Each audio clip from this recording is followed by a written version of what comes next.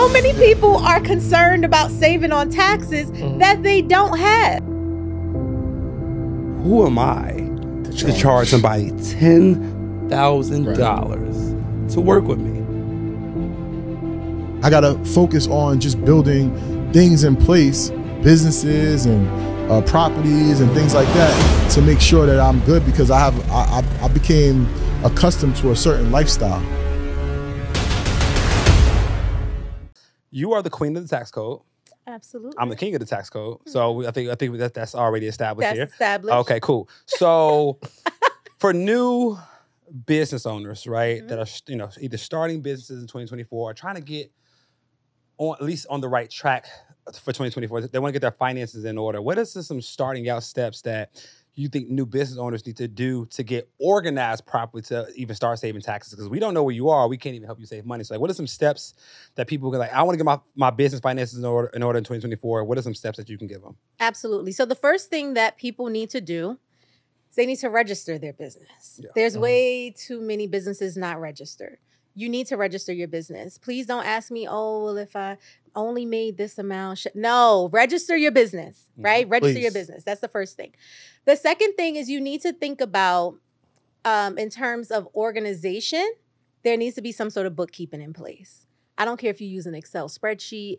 I don't care if, you know, you are utilizing a software.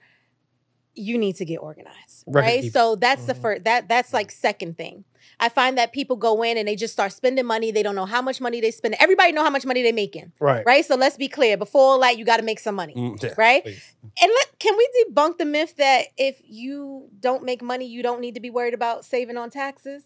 Because so many Yeah. people are concerned about saving on taxes Mhm. that they don't have. Yeah. Right. Just, Right. Hey, give me the they strategy have, on how to I write need off. the- strategies on how to write this Where- off. How, is mu- the how much? How income? much did you You don't have make? the Well, you know, right now I, I'm- I got a couple in the pipeline, and like, bro, like You no. haven't made a dollar yet. And just so y'all know, if you don't make a dollar in your business, there is no such thing as tax deductions, right? Yeah. You if you don't make that first sale in your business, all those deductions are on hold until you make some money in your You business. have to make So, money. You don't have a tax problem unless you have a money problem. If you ain't making no money, you ain't got a money problem, okay? Yes, So- I love when you when you say that Yeah. that because it's so true. So yes, first, yes, you have to m- make some money. So let's Mm-hmm. start over. You first make some money. Yeah. Right for new business owners, you have to make money. You have to figure out what that strategy is.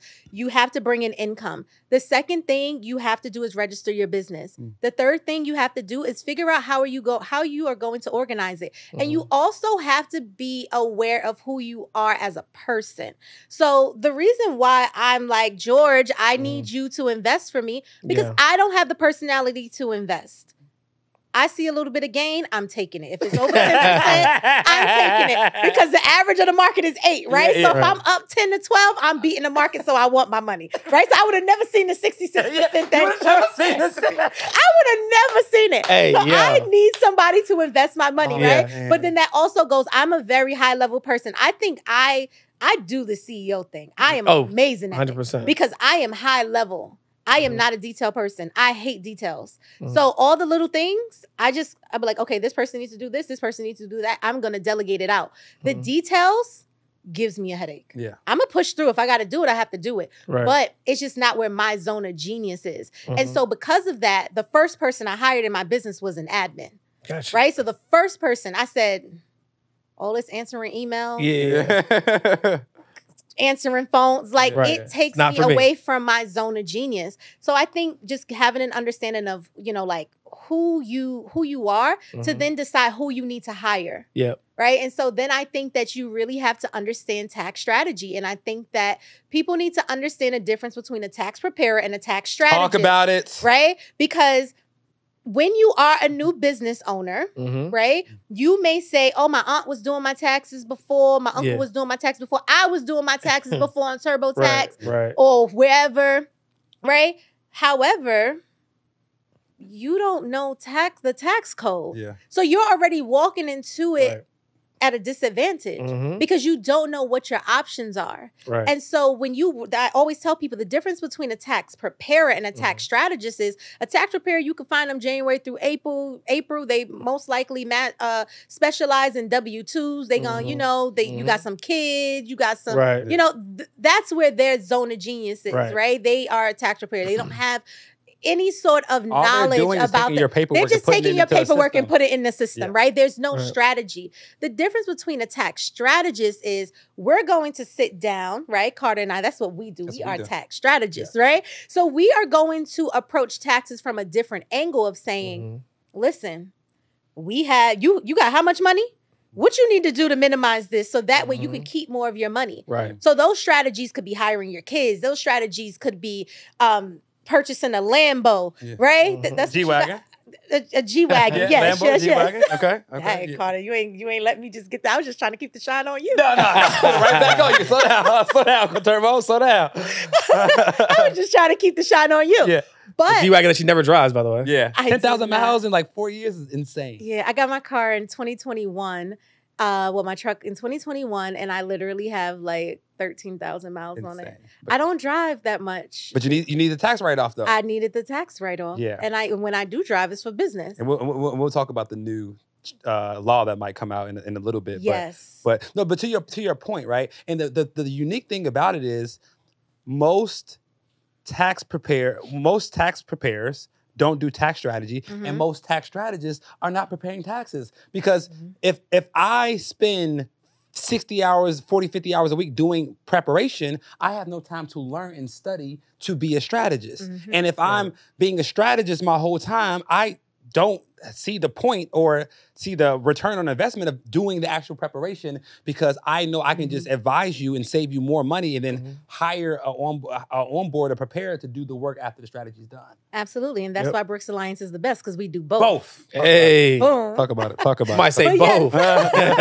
but it took you know it took a really long time like i just started in terms of like opening up tax strategies for a good amount of brooks alliance clients because Mhm. before it was very selective because of that exact thing Mm.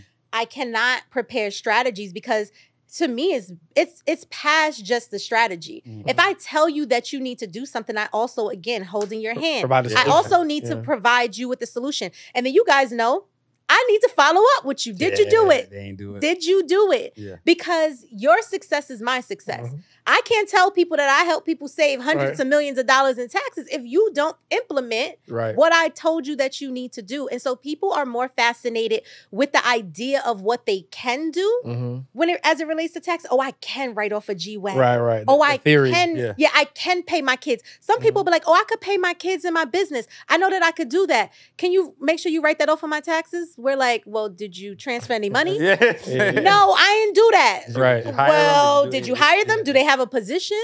Uh, well, you know, Uh, well, they sorta. did do this. It's Yeah. like that's not enough. Right. You know, like that's not enough. So I think that um people have to just be very um just aware of like the their new positions. And I always Mhm. say your old professionals may not serve you. Yeah. And you cannot be afraid to let them go. Right. We've had people call us like, "Can you please call my old tax preparer and like tell them that?" That's Right. and tell them that we can't work with them anymore. and I'm like, Here's the thing I tell people. It's we like, can't do that. if we did business, I paid you, you didn't do me a favor. Right. So it's so it's like if the business is over, it's not, I mean, it's no, it's no love lost. Like I paid for a service, you provided that service. At any point in time, we can part ways. I have the ability that I did build multiple brands to, you know, eight figure businesses, right? So, um, yeah, I don't have a personal brand, but it doesn't mean that I, I have to start from doing webinars or doing this influencer thing. I don't have to do that. Not that I did too much of it because I, I really was I wasn't salesy. I don't, I'm not a salesy guy. Um, I just do what I love, and like I started the Mac Pack, and I really love I love doing it. Like I go on every week and and teach people about everything I know, and my goal is to literally everything I I, I in my brain that I, I do in media, I want to teach people. I want to teach every single thing I do. Um, and that's my goal. And I enjoy doing it. It's not like um, you know, I'm I mean I don't even promote it. Like people just sign up, They see it in my episodes on my podcast or whatever. I just I just talk about it. You know, hey, you know, if you want to come to the MacPack, but I don't promote it really too much on social media. I just you know, um, maybe I might in, a, in the future, maybe I might not. I don't know, but I just enjoy doing. it. I love doing it. Um, I love making content. I make a lot of content that I don't even put out. What I realize is that when I turn that camera on, I could talk about anything. I could talk about anything and it doesn't have to go out to the world. But what it does do, it takes this load off my, my chest or my shoulders and I release it into the camera. And it's become therapeutic for me. So that's why I enjoy making content at this point. So I will probably never stop making content. I may stop putting it out um, and just make just the MacPack content because I just love teaching people. I love helping people as much as I can. I've been helping people my whole life. And now I got my own little community and, you know, shouldn't say that, my own huge Yeah, I community was about to say, I, I was gonna cut you off. my own huge community Yeah, yeah, yeah, yeah, yeah. that I get to inspire and help, and mm-hmm. we all, you know, work out, have like mindeds, and build. We build together. Yeah. So what, what I love about you all is again, three brothers. Was more, was- was- I know it's a lot of people like three main focal brothers that came together and saw a bigger purpose mm-hmm. and set their ego aside to build something that, that y'all could have built t- that y'all built together that could have been bigger than anything y'all built on your own, right? And now it's led to you all to meet phenomenal people um, in the journey. So my next question to you is, out of all of the phenomenal people you've met, who for you was like the best experience and what was one of the best lessons that you learned from uh, one of the you know whether the celebrities or uh, influencers or you know uh, whoever you all met what That's was one of the best people and um and one of the best lessons that you that you all got from from Robert Smith to Steve Hart like to all these people right Um, Yeah, I but know like I don't, I didn't really co- communicate with like. I mean, I've had very vague conversations with Steve Harvey. I had vague conversations with uh, Robert F. Smith. Um, I mean, it, it sucks to say, but not no, take that part out. yeah Edit that. yeah I don't even want to say his. I'm not even say his name. okay okay, okay. I mean, it's it's it's so many it's so many great people I met. So many great mm-hmm. people I met, Yeah. and it just depends. It's all timing. Like, I may have he may have been you know inspir- inspirational in my life, but he may have you know I hadn't had a better conversation with him. Yeah. So it was like it's so many different. It was so many people. It's so many different people. I would hate to say just one person because it's just it's been so many different people that inspire me. I mean, it you know, so many people like it. I couldn't pick one. okay I couldn't pick one. Fair enough. Fair enough. Um, I mean, I could pick one from the beginning. Um, Derek, uh, wh- wh- what's his last name? Episode twelve. Episode twelve, I believe. Um, he he owned a store, but um, he owned a, a, a, a sorry a restaurant. Um, and Buttermilk, I think it was called in Baltimore. And I just love the way he, uh, you know, how he started from nothing. And this is like, he was he was like one of the first inspirations from Earn Your Leisure's path because he started from nothing, you know, came from nothing, and the way he like broke down his business and the mm-hmm. finances and, and and how to grow and how to have to own the building and think like that was inspiring to me. Like you know, he's like, I'm not in the restaurant business. I'm in I'm in the the uh, real estate business. It's mm-hmm. just I happen to have a restaurant. So it was like that was kind of like one of the one of the things that like that was one of those moments where I was like, oh, we got some dope shit. yeah. We got some dope mm-hmm. shit. Because what's interesting, at least from my take, you let me know if I'm, I'm wrong in this assumption. It seems like the media business is like when y'all first started out. Like obviously, I mean, y'all probably were doing what y'all were doing your own thing or whatever. But in the beginning, it's like okay, we built this platform that people can appreciate. But some of the guests y'all had on, like they might have had a bigger bag than y'all at the time, right? Y'all just had the bigger platform, mm. right? But the, but it's interesting to see almost like the the, the shift and the evolution to where. That's still happening. I mean, Oh yeah, Yeah, for sure. yeah, Yeah, yeah, yeah, yeah. definitely still- definitely Definitely still You got. Robert F. Smith on the show. Yeah, you know what I'm yeah. saying? But like, but it, yeah, for sure. But like to see like, I just imagine like there's like probably a lot of aha moments where like, man, y'all remember we was just like we had the show. We was kind of like all inspired by some of the people that we were bringing on, and now like our bag, you know, say our bag is just as deep, you know, to a degree. Obviously now y'all got all sorts of people. Bar- Barbara Corcoran, I think is her name. Um, you have all sorts of people on the show, but I can imagine it seems like at least from the outside looking in, it was like y'all started the platform.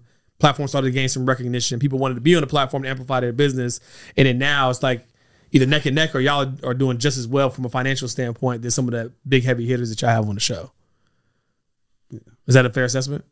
Yeah, I mean, uh, I don't think the bag determines like uh, the success.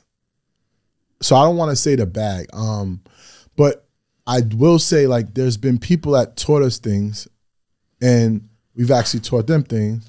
But you still have to humble yourself, right? For sure. Like even if I, I start to interview with, with someone that I might be, I feel like that I'm I'm I might be on a higher level than them or something. I still got to humble because you can learn from anybody. Mm-hmm. Right. You know, I learn from my son every day. You know what I'm saying? But you can learn from anybody. So I think no matter how success in terms of finances or in types of celebrity, mm-hmm. I think everyone should always be able to humble themselves and listen. Because if you can't listen and you're just always talking, always t- doing the most talking in the room, then you're gonna be one of those ones that never grow. You're gonna stay stuck in that room, if that makes any sense. That makes sense.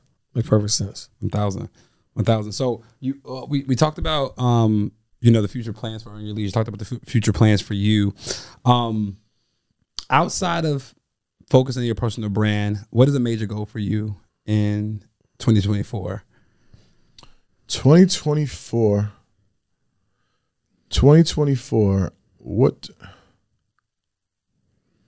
2024 i mean i have some goals just have to rearrange them um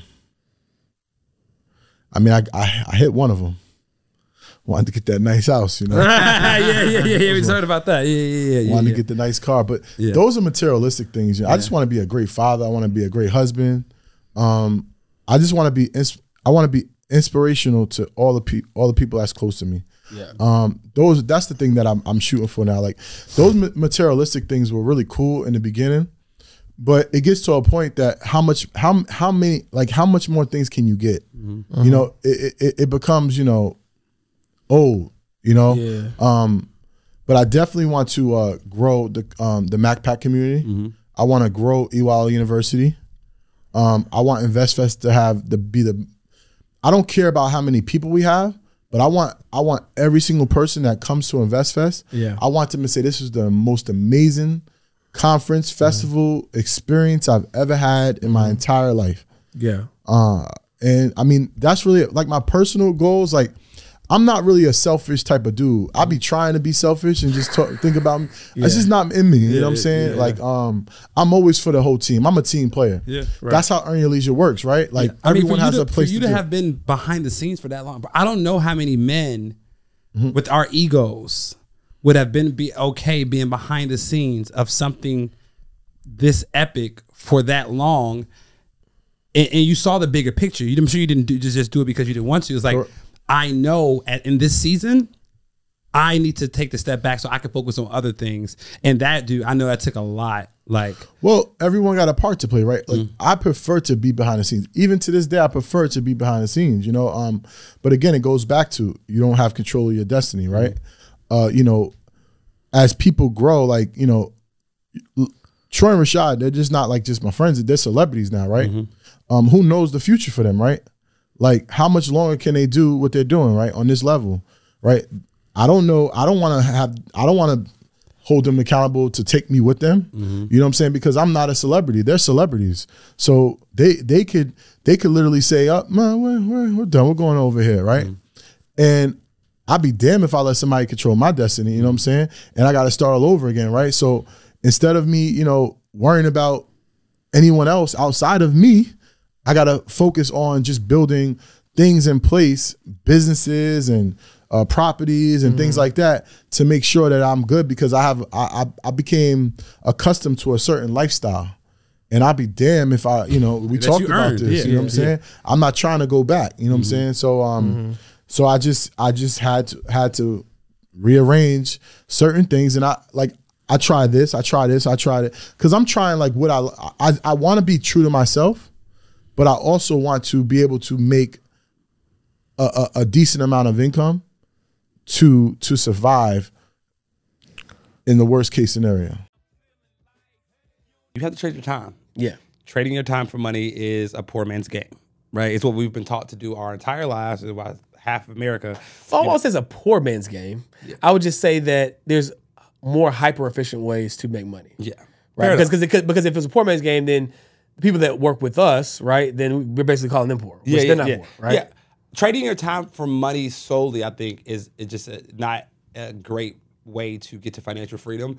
It's somewhere that most people need to start. Right. But we want you getting from there to being able to like have your time because again, uh, poor people trade their time for money, and rich people trade their money for their time. Right. Right. So so like eventually you you you you get to you get to that place, but. The, the, the, the cons is you have to trade your time and we don't have 24 hours in a day. So that means even if you are selling uh, your product and it takes you you know four hours a day to produce you only can sell so many because like you don't have 24 hours in a day. Right. so um, the cons about service-based businesses is that you only can give so many hours and when you talk about scaling to to the, to the highest level you just won't be able to do that Yeah. Um, one thing that you can do if you really just love the service based business model, I'll, I'll, I'll tell people all, all the time, just because you walk into Charles Schwab, don't mean you're going to talk to Charles, right? So it's like if you can create a business model where you can create the standard operating procedures, you can put the right manpower in place, right? You can still own a service based business, right? To where you now you're not you're not having to trade all the time yourself, right? So like it just depends upon the path you want to take, but the concept is this: whatever you do, whether it's digital products or the next business model we're going to talk about, how can I build something where the, I can remove myself as the person who's trading all the time, right? That's the concept. Whether you do a, a digital products or whether you do this or the next business model we're going to talk about, that's not as important. It's like whatever I'm doing, how can I own it instead of running it, facts right? And so now let's get into the third business model, which we are currently deeply immersed in. Yep. Um, we're which deeply immersed in all of them yeah, yeah, I would point. say yeah, yeah, technically. yeah, yeah, yeah, because even member a membership is low ticket, so we Yeah. we get we're getting a little bit all. Yeah, te- technically we we'd have we all get oh, we get a little bit like, we, hey, Yeah. leave it with Leave something it with something. Need that scratch. Shout Yeah. out to Wallo. Uh, but um, but yeah. So uh, this is the one that's probably the most scalable, yep right? Because you still get the perceived connection of like, oh, I get access to this person, but in a more scalable way. Because it's like the whole barbershop barber analogy, right? If when I was a barber, I can only cut so many heads in a day, right? If I own the barbershop, then there's several people cutting heads, right? And I just own the barbershop. With a coaching model, coaching business model, you can coach 10, 20, 30, 50, 100 people at one time, 1000s at one time with that same hour, right? So you're scaling your time. So we're still you're still leveraging your time to a degree, but you're scaling it because you can serve so many people at one time, right? So if you are an attorney or whatever it is that you do, instead of consulting on a one-to-one basis, what would it look like to teach it at scale so that you can talk to 50 people at one time with that same hour?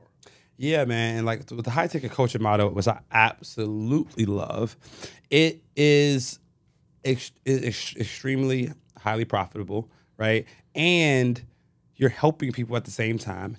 And you can find ways on how to make money off the people that you're coaching by by without any further um any further uh, use of your time. And I'll explain in a moment. But like I think the the the the pullback that people have with high ticket coaching is like, who am I to charge, charge. somebody ten thousand dollars to work with me? Right. Right. And you have to you have to ask yourself this, like, what receipts have you produced? If you're making two hundred thousand dollars as an attorney in your in your in your attorney business, like if you can teach somebody how to make half of that, Right. you just have to make hundred thousand dollars, and you only mm-hmm. charge them ten. They got a ten thousand dollar return. I mean, they get a ninety thousand dollar return on investment for work, which is that's a mm-hmm. ten x return, right? Right. So, like, I think people have to like really look at their receipts and understand, like, like, like, like, if you have the results and you prove them for yourself, you can probably prove them for somebody else. Mm-hmm. And the reality is, we pay uh, a college professor mm-hmm. forty done it. thousand dollars who hasn't done it. Like the professor only teaches. Like my professor only taught about taxes and audit. He never worked as an auditor. He never worked as a tax advisor. He was just a, a professor for twenty years. Right. Hadn't did the work, but I have to pay him forty thousand dollars or whatever the cost of his class was to learn from him mm-hmm. off theory. Right. You know what I'm saying? So I I I just want more people to give themselves credit. If you have the results, you can get into the high ticket coaching. Now, if you haven't had the results, then please take a seat. Pl- have a seat, Sit relax, sit on the sidelines. Yeah, but again, it- the thing is all about positioning, right? Like people are so used to charging for their time, and they're so used to like itemizing things, right? So here's the one of the things I did in my service based business early. Before I even got good at positioning, it just made logical sense, right? So someone's like, when you tell them your the cost, it's like, oh well, what if I don't like? How can, can I get it for less? Then I would break out all the things I'm going to do, and I would say, well, let me know from this list what you want me to remove. Right? What result don't you want? They want all of them, right? So you have to charge from a place of value and outcome.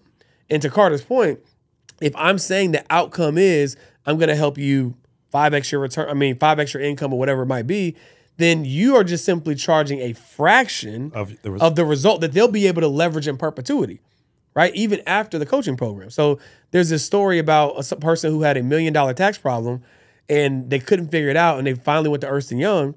And Ernst, Ernst Young said, I got good news. I can make your million dollar tax problem go away. It's gonna cost you half a million dollars though Yeah. right? They just saved that person five hundred thousand dollars. You were about you had the check written to the IRS, mm-hmm. so it doesn't matter that I'm charging you half a million because I just saved you half a 1000000 mm-hmm. But people don't aren't like they don't have the uh, the mind frame to position things that way. It's like, oh my gosh, I couldn't fathom charging somebody that much money. Yeah. Right. But I charge one of my clients the fir- within the 90 days of working with me, I'm not even the tax guy. I saved her over six hundred thousand dollars in taxes. Right? In the in the within 90 days Yeah. and my service is a fraction of that. So you think she has any issue paying that fee year over year? Yeah. No. Might well, he might as well go ahead and pay me a couple years in advance pay with that, couple- that Exactly. scratch. Exactly. Yeah, so, yeah. But it comes back to you knowing your value, actually having quantifiable results. Because if you don't, it will be hard. Yeah. Right. It will be hard to charge somebody a lot of money if you don't have any receipts of your own or for other people where you like, okay, look, this fee is a the bucket I'm gonna save you 50 grand in taxes. Yeah. Right. But if you don't have that, it's very hard to do. Yeah, which is why like start a service based business first. You know, get get the results for yourself. Like like if if you don't have a testimony, you are the testimony. Right. I took myself from making no money in my in my service based business to making a quarter million dollars in my service based business. I now teach other accountants how to scale from zero to a quarter 1000000 mm-hmm. right? And then I might only I might charge, you know, ten thousand dollars for that. You get mm-hmm. twenty five x return on your investment. And then when I go from zero to if I go from a quarter million to a million, I now can say I'm gonna teach you how to uh, scale your accounting business to a million dollars using a coaching program. Because like now I've done it, and the dope thing about experience, this is why like being an entrepreneur is so fucking dope. Because the more results you get, the more things you learn. You can just turn around and teach it to somebody else because you just did it. Right. Like we just we was at ClickFunnels. We, we were watching Russell Brunson show us how he's gonna make a hundred million dollars in a brand new business he's starting. Right. And like he's going through the business and showing us the way. And had an offer at the end And of then that like, session. I, am gonna I'm gonna teach you how to do this because I'm doing it right now. It's gonna cost this amount of money. I'm like, that's actually a good offer. Like Right. because like as an entrepreneur, the more you uh the more you heighten your skills, Mm-hmm. the more you develop yourself, the more results you get, you could turn turn around and teach the next person. And then when you teach somebody else, you're actually reteaching yourself. So you're getting better as well. So you're getting paid large sums of money to help people, but to also help yourself. Hundred percent. Because if you can't, if you can't teach it, you haven't mastered it. Mm-hmm. And if you haven't mastered it, you shouldn't teach it. That part. Right. So teaching really helps you refine the way that you do. Because now I get to the point where like I'll start teaching something. I'm like, man, it's, it gets better. It's the same thing, but now I'm just doing things Mm. Add- add organically, adding this, Yeah. adding this sauce, tweaking the recipe. Right. Um. And, and while we're here, let's talk about the four levels of learning because I think it's very important because this is I think what helped us get to the level that we're at. Right.